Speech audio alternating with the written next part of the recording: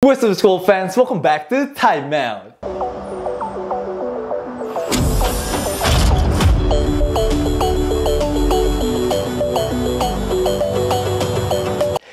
semua haters WMB, gimana kabar kalian semua hari ini? Aduh, pasti pada stres banget di rumah tuh sambil megang HP. Aduh, pengen ngetik, pengen ngepost di IG atau Twitter, tapi nggak bisa hari ini ngehujat WMB.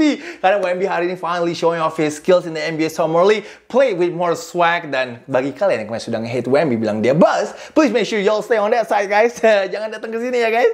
Uh, balik lagi di kelas time out malam ini, dan malam ini gue semangat banget nih untuk membahas uh, bounce back game dari WMB di dia 27 poin, 12 rebound, dan juga 3 block shot gue akan breakdown kepada kalian kenapa WMB hari ini bisa mainnya lebih bagus. Sebenarnya nggak gitu banyak topik time watch. Gue juga sebenarnya bingung tadi ngomong ngomongin apa aja di kelas ini. Tapi gue pengen ngobrol dari hati ke hati aja sih sama para haters ya WMB. Semoga gue bisa convert mereka jadi fans ya WMB nanti ini. Tapi of course, ya karena nggak banyak topik, ya kita pilih topik Lakers aja. Karena nggak Lakers, nggak makan guys. Lakers lagi ada rumor nih, mereka lagi katanya mau milih antara Christian Wood atau Bismack Biyombo. Gue punya pilihan gue sendiri dan gue akan kasih tahu kalian siapakah kira-kira yang lebih cocok untuk Lakers nanti di kelas timeout hari ini. So timeout geng, um, ada announcement sedikit. Wah, gue excited banget sih untuk besok siang karena gue besok siang diundang ke podcastnya Grind Boys guys. Jujur gue nervous banget sih. Aduh guys, semoga jokes gue lucu ya besok ya.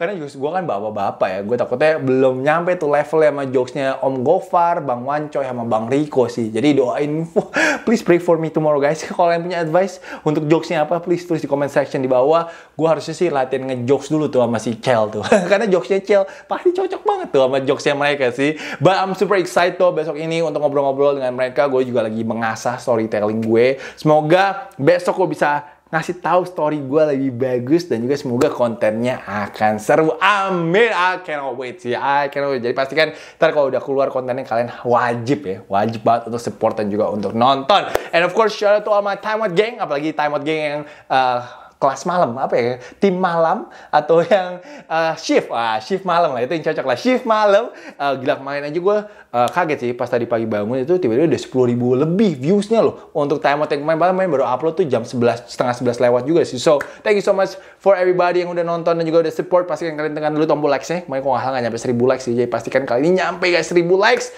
And yeah, once again thank you so much for watching. And let's start our class today uh, kita akan mulai dengan comment of the day di mana datangnya dari Zefri Wijayanto. Lebih kecewa lihat debutnya Wemby atau lihat last shot Randy Bell di game pertama kok? Ini benar-benar tough question banget menurut gue. Tapi kalau ditanya gitu gue pasti akan bilangnya gue lebih kecewa melihat last shot dari Randy Bell. Karena gue gemes banget pengen bilang drive aja itu drive aja gitu. Tapi Even kalau nggak di drive, pas dia lihat di double team, gue inget tuh dia di double team, gue tadi mikir dia akan oper ke temen ya, karena kan dia court visionnya oke okay banget sih si Randy Bell sih, tapi sangat disayangkan sekali dia akhirnya uh, memilih untuk menembak 3 point dan sebenarnya 3 pointnya hampir masuk sih, cuma ya tough, tough shot, oh, tough shot and tough choice banget menurut gue sih. Tapi uh, apa pun hasilnya dari tembakan itu, I still have love uh, for Randy Bell dan menurut gue dia tetap harusnya masuk ke nominasi MVP untuk Best Foreign Player. So hopefully Randy Bell next season akan kembali lagi di IBL dan semoga aja dia bisa redeem himself next season. So shout out to Zafri Wijayanto for the comment. And now kita akan masuk ke kelas time hari ini. Kita akan mulai dengan Dylan Brooks yang semakin halu aja nih guys. I know every single night guys are thinking about me. Bro, that sounds dirty though. Gila sih, dia nunggu banget loh. Nunggu banget sampai dia dapat tim baru dan juga kontrak gede buat bacot lagi coy. Gila sih. Um, kalau dia ke Shanghai Sharks, gue yakin, gue jamin dia nggak bakal sih bacot kayak gini. Dia pasti akan diem-diem baik banget sih. Uh, but he needs to stop though. For real bro, you need to stop man. Uh, tahun depan pemain-pemain yang sakit hati, yang gajinya lebih rendah daripada dia, gue yakin akan bantai dia banget sih. Akan give him like 30 points man. Pasti banget menurut gue. Ya siap-siap aja lah kayak pemain kayak Austin Reeves ataupun juga kayak Russell Westbrook itu udah siap kayak untuk bantai dia banget sih next season. Makin lama makin ngeselin sih ini orang sih si Dylan Brooks sih. So Dylan Brooks, please bro, you need to stop. so sekarang kita akan pindah ke oh, uh, ke tim yang bantai Dylan Brooks last season yaitu Lakers What's up Lakers fans? Uh, masih pada nonton Time Out ya hari ini Lakers fans. Tapi Lakers lagi aktif banget mencari center untuk bisa mengisi roster terakhirnya mereka. Uh, pilihannya katanya antara Christian Wood ataupun juga Bismack Biyombo. Kalau gue um, akan memilihnya Bismack Biyombo daripada si Christian Wood. Gue yakin para fansnya Mavericks bisa relate kepada hal ini. Uh, gue tahu sama Christian Wood itu jauh lebih talented, apalagi offensively.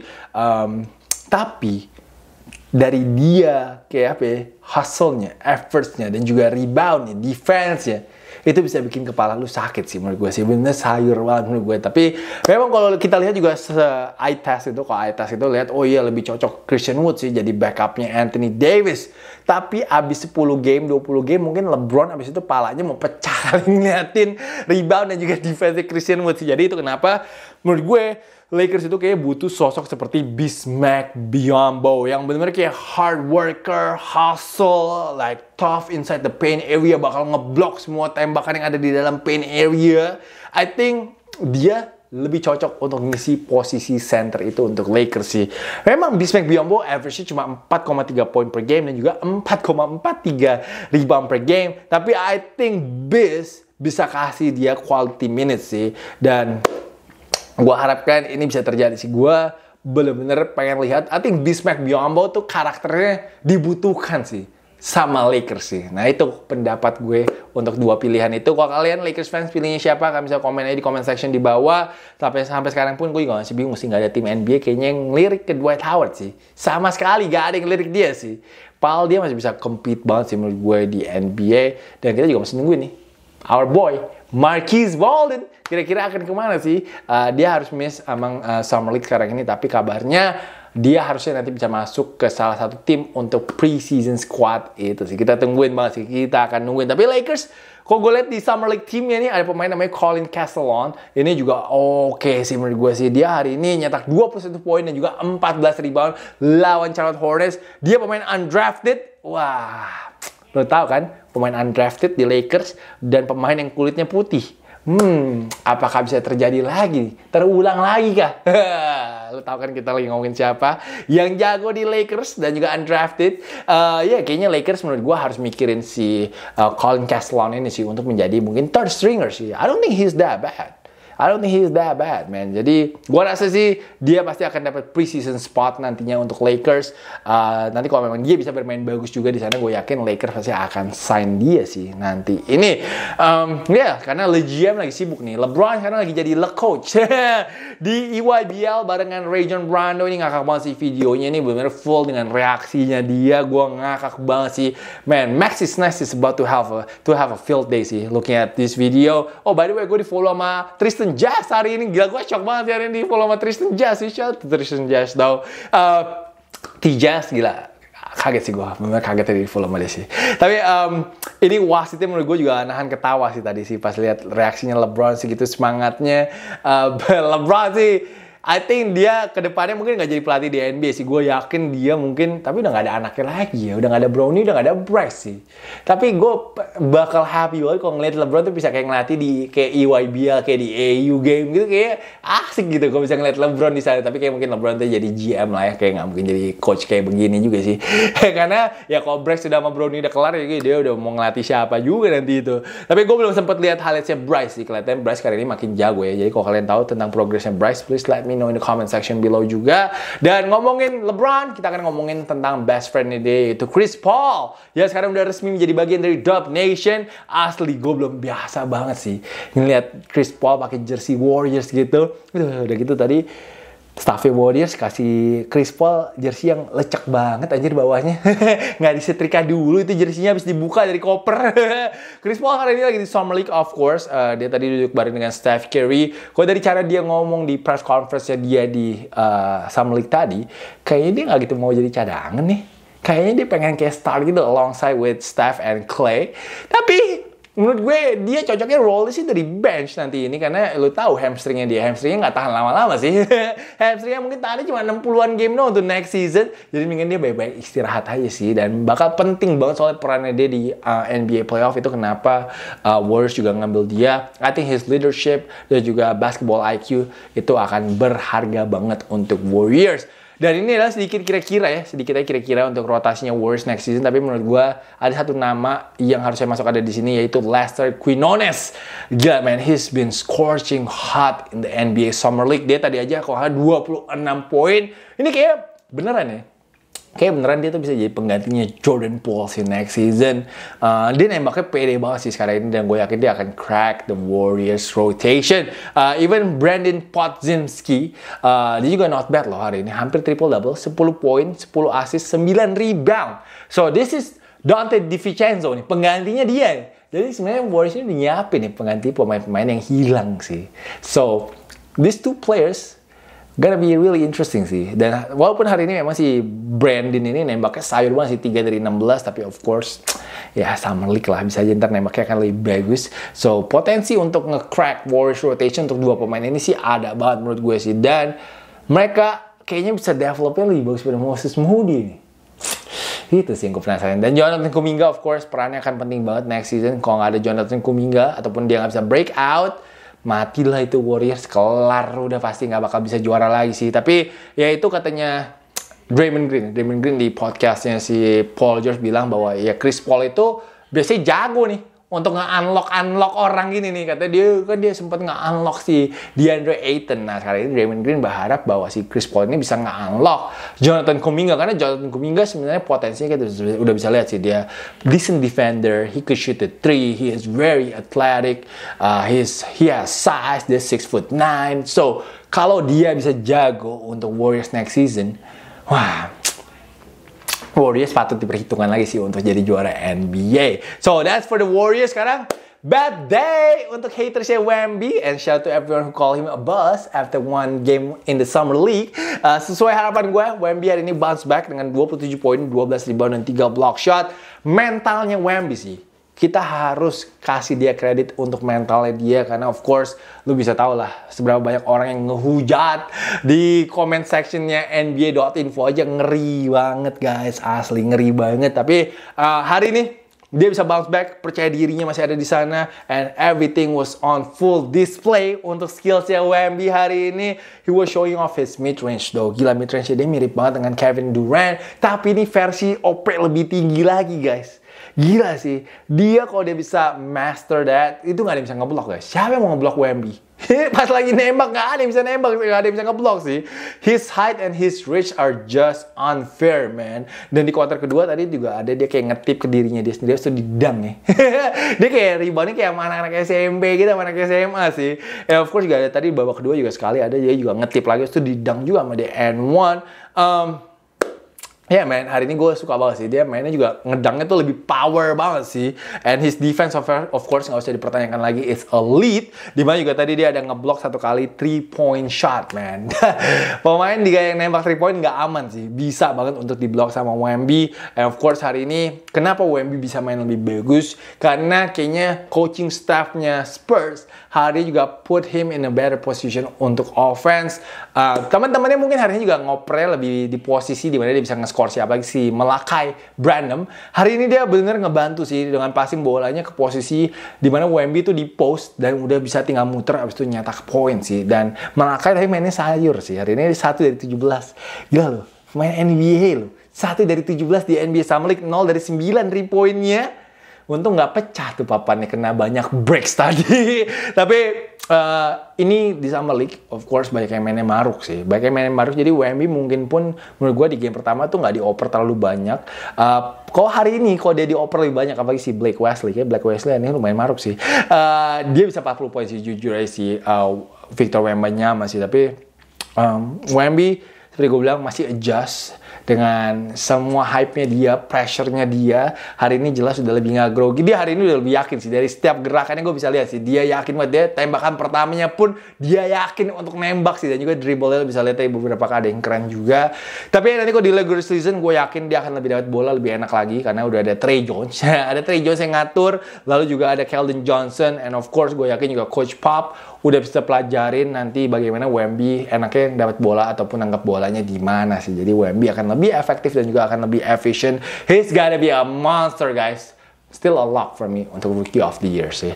Dan gue juga gak sabar untuk melihat duet Wemby and Jeremy Sohan untuk defense. Menurut gue mereka punya potensi beberapa tahun ke depan ini untuk menjadi the best defensive duo in the future. Um, like I said, gue hari ini juga seneng banget. Akhirnya Wemby nggak dibully lagi dan dia bisa show ke everybody why he is the best prospect in this generation. Uh, Wemby juga gue rasa udah beres kelar urusannya sama si Britney Spears. Drama itu kayaknya udah selesai, udah redup. Jadi itu kenapa menurut gue dia juga udah bisa fokus dengan game media uh, dan juga katanya abis ini dia mau liburan, uh, dia mau off dari media, dia nggak mau nongol di mana-mana sampai mungkin NBA Media Day. Uh, kemarin di NBA Con dia juga kayak mendapatkan satu advice yang luar biasa dari legend NBA itu Karim Abdul-Jabbar. Uh, dikasih tahu untuk lebih sabar dan juga you have to learn man. You have to learn in the NBA Summer League. Uh, Melo juga kayak kasih dia kayak ketemu Melo ya gue lupa sih. Malah ketemu Carmelo. Carmelo juga bilang kayak you know just play basketball and enjoy Vegas. Enjoy Vegas. Um, gue jujur penasaran sih kira-kira Wemby akan main lagi nggak ya? Kalau feeling gue nggak tahu kenapa feeling gue kayak Wemby udah kelar ya dari shutdown habis ini sama si Spurs. Tapi mungkin kalau main mungkin main satu kali lagi sih nanti pas lagi lawan Washington Wizards. Um, man, Wemby deserve a vacation though. Deserve a vacation dari LNB, NBA Draft karena ada di NBA Summer League itu kenapa juga dia akhirnya memilih untuk nggak bermain di uh, FIBA World Cup 2023. Um, yeah, saatnya Wemby jemuran di Las Vegas. Bisa ke Omnia mungkin di Vegas. Uh, tapi jadi malam nggak bisa clubbing sih. Malam belum bisa deh party di Dre's. Bagi yang udah pernah ke Vegas uh, dan suka hip hop pasti tahu lah Dre's Club itu rap rapper lalu juga pemain NBA semua pada datang semua lagi summer. Uh, ya yeah, tapi kayak Wemby udah saatnya banget sih untuk dia istirahat dan juga recover badannya. Uh, bam once again Wemby bener hari ini ngebuktiin lagi kepada semuanya bahwa dia emang layak sih untuk dipilih sebagai number one draft pick oleh San Antonio Spurs. Um, apalagi nggak mau bahas oh ya Kadesta. Kadesta asik banget sih lagi di NBA Con kemarin. Ini gue lihat dia sempat video belakangnya ada legend Karim Abdul-Jabbar. Um, terus kayak ada USS Fit juga kayak ikutan ya. Makanya kenapa USS Fit uh, ikutan ngepost tentang NBA Summer League. Karena gue kaget banget itu main banget USS Fit ngepost NBA Summer League. Tapi ternyata kayaknya NBA ngundang USS Fit dan juga Kadesta ke Las Vegas untuk bikin konten selama NBA Summer League dan juga NBA Con. Aduh gue ngiri banget sih. Gue pengen banget ke NBA Con. Karena menurut gue NBA Con itu banyak pengetahuan yang lo bisa dapat knowledge karena itu banyak banget pembicaranya kayak tadi ada Jerry West lalu ada kemarin ada Trey Young, Paulo Banquero ada Victor Wembanyama ada Karim Abdul-Jabbar oh my god ilmunya karena gue of course gue seneng banget selalu kok bisa nambah ilmu, nambah knowledge untuk uh, media ataupun juga untuk bawa ke time out. You just never know kan bisa aja gue bawa juga jelasin apa cerita ke kalian ke di vlog gue ataupun di Travel for Basketball. But yeah, uh, Kaliasa is very lucky to be there untuk di NBA Con. Menurut gue karena NBA Con ini baru pertama kali diadain. Dan kemarin juga dia sempat foto dengan T-Jazz. Kayaknya gara-gara itu si T-Jazz follow gue sih karena gue sempat komen di foto itu. And yeah itu time out gue sih. time to sleep after this, abis ngedit. Habis itu siap-siap untuk besok ke grind boys. Uh, didoain aja guys agar semuanya lancar. Uh, hari Rabu gue akan ngeliput Azril juga sih kayaknya sih. Besok nih masih nungguin sih dari Xavier Ford. Gue mau update kalian ini. Jadi update kalian jadwal gue. Uh, iya yeah, besok masih nungguin kabar dari Xavier Ford. Pengen ketemu sama dia sih, pengen kenalan aja sih sama dia sih. Uh, kasian juga dia kayak sendirian aja di Jakarta soalnya. So besok belum pasti sama Xavier Ford masih dikabarin sama dia besok. Lalu Rabu harusnya ngeliput Azril sih. Dia main sama Prapon DKI Jakarta sih. So itu kira-kira konten beberapa hari ke depan ini. Oh tapi untuk Xavier Ford itu hanya untuk member aja sih. Uh, I'm just gonna let you guys right now, uh, know right now. So Ya, habis itu Kamis kita live chat untuk IBL Playoff Semifinals. I cannot wait. So itu aja deh. Karena emang banyak nggak banyak topik ya guys. Biasanya bisa sampai setengah jam kan sekarang time outnya. Karena ini cuma 19 menit aja. But thank you though guys for tuning in tonight. Thank you so much yang sudah setia selalu untuk support time outnya. Really appreciate everybody. Jangan lupa like guys. Jangan lupa komen. And jangan lupa untuk subscribe. Please tekan tombol subscribe-nya. And yeah, once again, really appreciate you everybody. I love you guys. I love you guys. Time out gang. And I will see you guys again very soon. Peace out everybody.